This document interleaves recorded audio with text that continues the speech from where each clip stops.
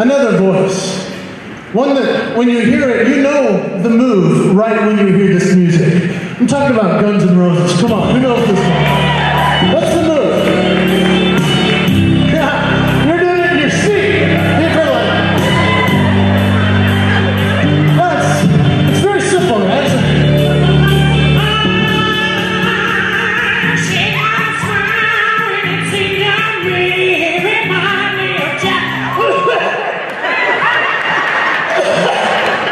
Was impossible voice. Okay, that's enough.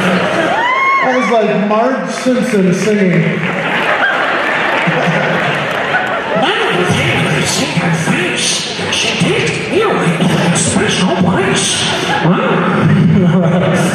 Marge Simpson singing Guns N' Roses. So, what's your signature move? You might be sitting there thinking, oh, I don't have anything like that. But my friends, we're all performers. We're all legendary leaders in our own space, in our own way. And so often we're not quite sure.